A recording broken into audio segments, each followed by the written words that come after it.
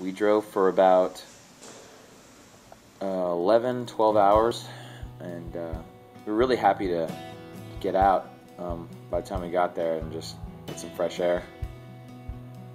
Working at Tiny Telephone for the first day was pretty eye-opening. There were so many different mics.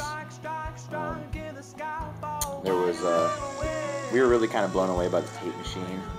Got to learn about uh, some of their cool artwork and some of the neighborhood friends. Kevin was uh, not really into having so much FaceTime.